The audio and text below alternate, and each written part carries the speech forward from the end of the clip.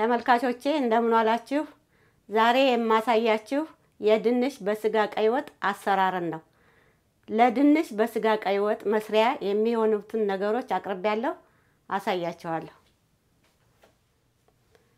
ይሄኛው የተነጠረ ቅቤ፣ መከለሻ ቅመም፣ በርበሬ፣ ጨው፣ ጥቁር ቅመም፣ እርጥብ ቅመም፣ ቃሪያ፣ ዘይት፣ ስጋ፣ ቲማቲም፣ ቀይ ሽንኩርት፣ ድንች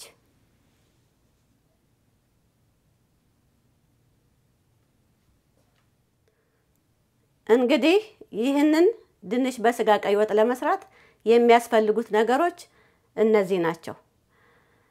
ድንች በስጋ ብለን ሰይመን በምንሰራበት ጊዜ ወይም ደግሞ ማንኛውንም ቀላቅለን የምንሰራቸውን ወጦች ስንሰራ ተጠሪው በርከት ማለት አለበት።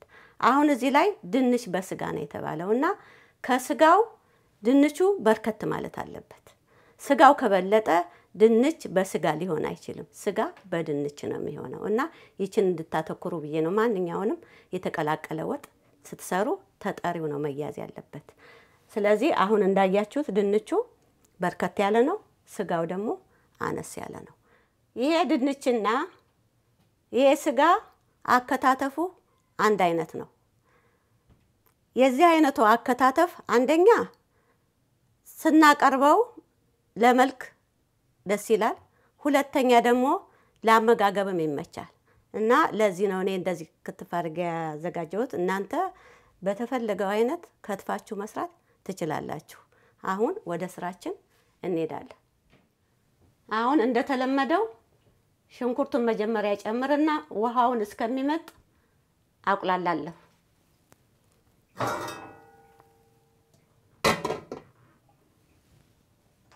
እሳቱን እለኩሳለሁ።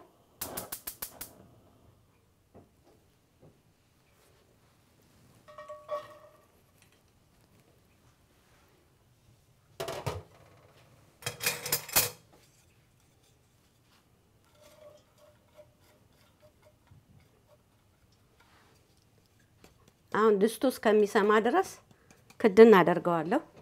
ከዛ በኋላ ተከታትዬ ውሃው እስከሚመጥ አቁላላዋለሁ ማለት ነው።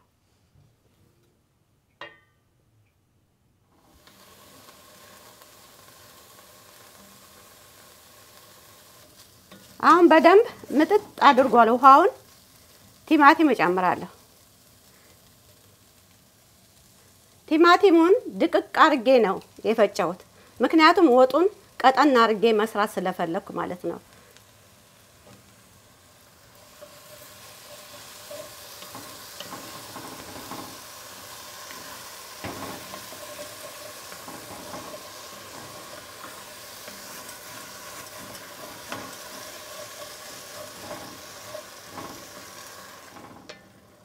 ይሄም ምንም ሳልጨምር ሌላ ምጥጥ እስከሚል ድረስ አቁላለዋለሁ።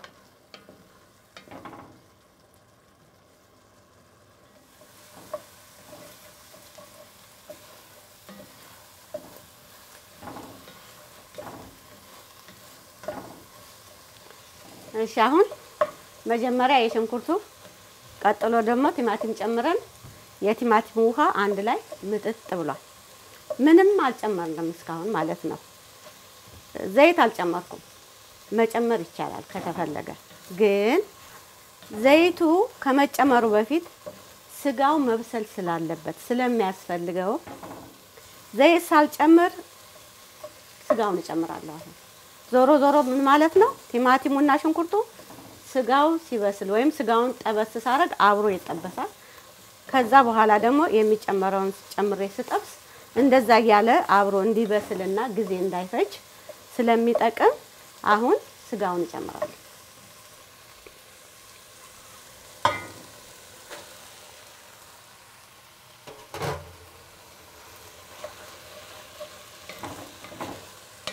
ያው እንደሚታወቀው ስጋ ውሃ ይወልዳል እና በዚህ በስጋው ውሃ እስከሚመጥ ድረስ አብሬ ጥብስ አደርገዋለሁ።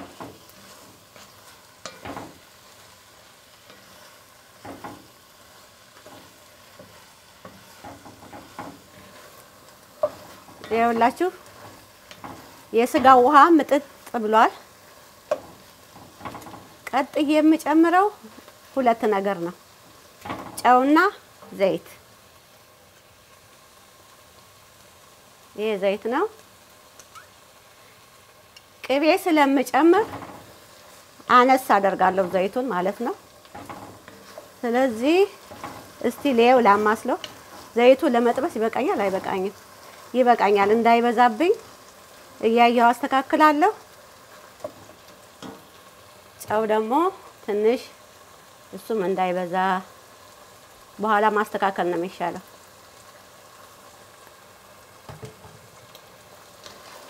ከዛ በኋላ እሳቱ ኃይለኛ ላይ ነው ያለው። አሁን እንደምታዩት ይሄንን መጠበስ ስለሚያስፈልገው እሳቴን ቀነስ አረግና ጊዜ ወስጄ ጥብስ አደርገዋለሁ። ወጡን በጣም ሊያጣፍጠው የሚችለው የነዚህ የሶስቱ አንድ ላይ መጠበስ ነው፣ የስጋው መጠበስ ነው። ስለዚህ ይችን እየጠበስኩ ቆያለሁ። እናንተ ጠብቁኝ።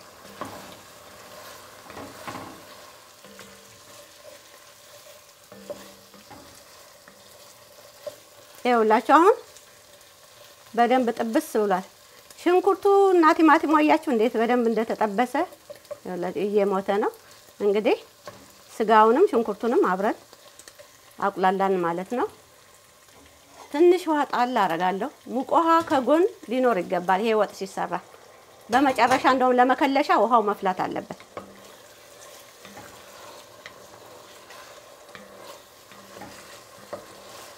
ለምንድን ነው ውሃ የጨመርኩት? በርበሬ ስለምጨምር እንዳይቃጠልብኝ ነው።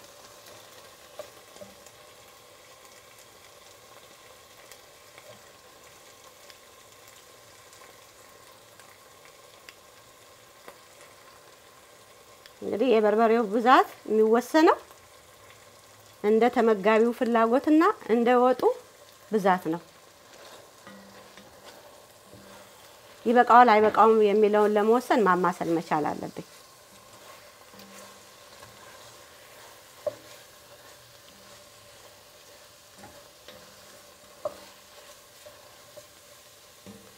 ትንሽ ያስጨምረኛል።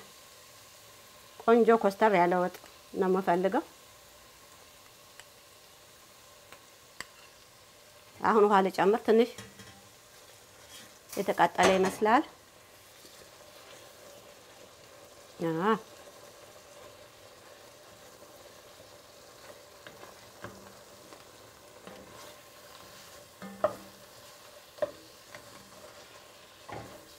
ይሄ ይበቃዋል፣ እርግጠኛ ነኝ።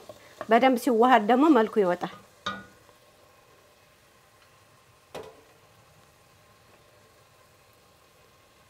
የሚቀጥለው ጥቁር ቅመም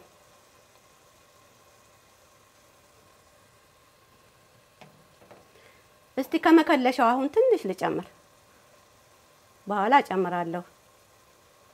አሁን ትንሽዬ አብሮ ሲጠበስ እስቲ የሚሰጠውን ጣዕም ታያላችሁ።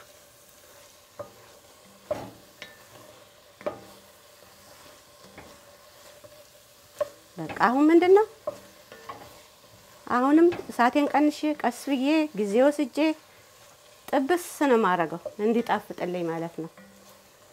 እና በውሃ ነው ጠብ ጠብ ጠብ ጠብ እያረኩኝ እማቁላላው። እኔ አቁላላለሁ፣ እናንተ ጠብቁኝ።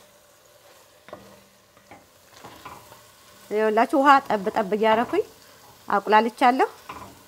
በርበሬውም ቆንጆ ሆኗል፣ ሽታውም ይጣፍጣል። አሁን እርጥብ ቅመሙን ነው የምጨምረው። በጣም የደቀቀ ስለሆነ አሁን ብጨምረው ነው ጥሩ የሚሆነው ማለት ነው። ከዛ እስከሚስተካከል ድረስ ነጭ ሽንኩርቱ የሚቁላላ አብሮ መብሰሉን አረጋግጥና ሲበቃው እንገናኛለን።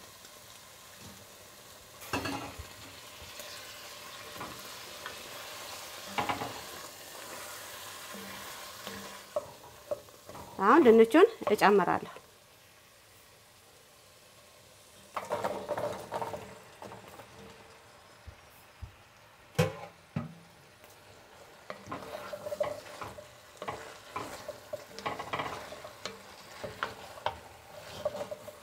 ቀስ ብዬ ገልበጥ፣ ምክንያቱም ድስቴ ይለቃለቃል ዙሪያው።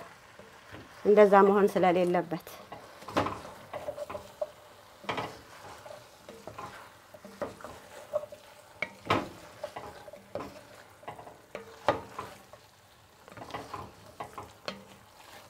አሁንም ጥብስ አደርገዋለሁ አብሬ።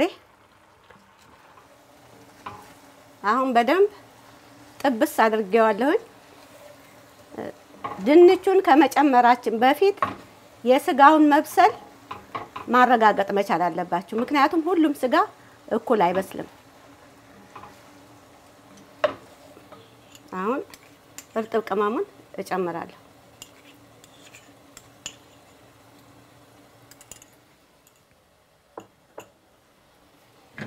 ጨው ያንሰዋል። ትንሽ ጨምርና ካነሰው ደግሞ አስተካክላለሁ በኋላ። መከለሻ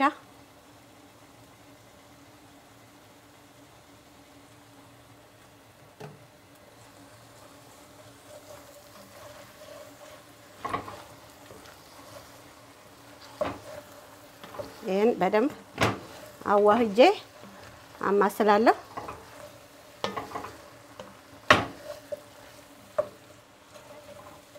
ከዚህ በኋላ ይሄን ወጥ በምንሰራበት ጊዜ ድንቹ እንዳይፈርስ ጠብሼዋለሁ። እንዲጣፍጥም ጭምር ነው የተጠበሰው።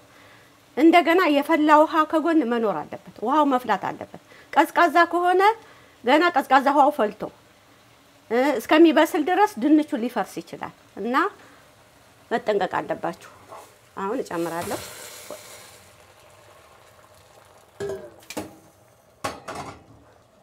እያማሰልኩ ነው። በቂና በቂ መሆኑን የማየው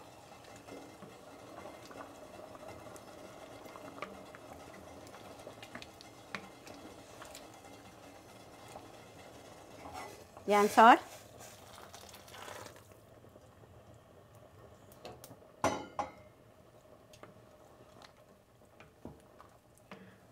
ሲንተከተክ ሁኔታውን አይቼ ደግሞ አስተካክላለሁ።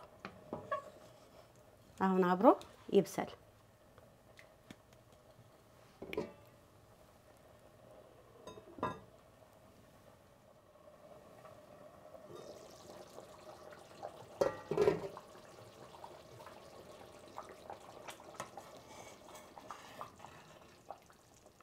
ይኸውላችሁ አሁን በስሏል። ሁሉ ነገሩ ተስተካክሏል። የሚቀረው ቅቤ መጨመር ነው። እኔ ወደ መጨረሻ ላይ ቅቤ መጨመር እወዳለሁ። በመሀልም ወይም ደግሞ በሌላ መንገድ እንደፈለጋችሁት እናንተ ቅቤን መጠቀም ትችላላችሁ ጨምራችሁ።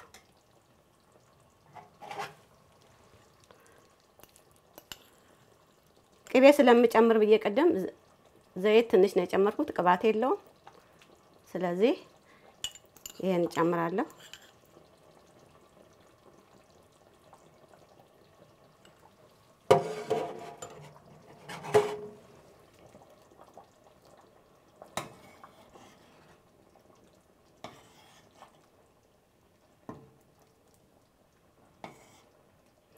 አሁን ይሄ ብስል ሊበል ይኸውላችሁ የከለስኩት ውሃ ተጠንቅቄ ነው የከለስኩት። እናንተም እንደዛ ነው መከለስ ያለባችሁ። እንደዚህ አይነት ወጥ የተከለሰው ውሃ ካነሰው ፍሬው ብቻ ይቀራል። ምክንያቱም እስከነ ውሃው እስከነ ፍሬው እንዲህ የተደረገ ነው የሚቆነጠረው። እንዲህ አድርጋችሁ ትቆነጠራላችሁ። አቆነጣጠርም ወሳኝ ነው ማለት ነው። ስለዚህ አሁን ድንቹም አልፈረሰም፣ ጥሩ ሆኗል፣ ተስተካክሏል። ስራችንን ጨርሰናል። እሳቱን አጠፋዋለሁ።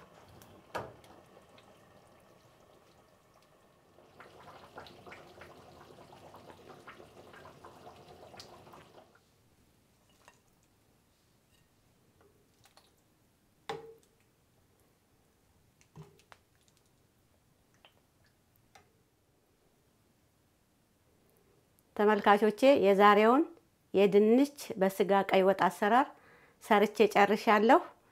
በሌላ ቪዲዮ እስከምንገናኝ ድረስ ደህና ሁኑልኝ። ደህና ቆዩኝ።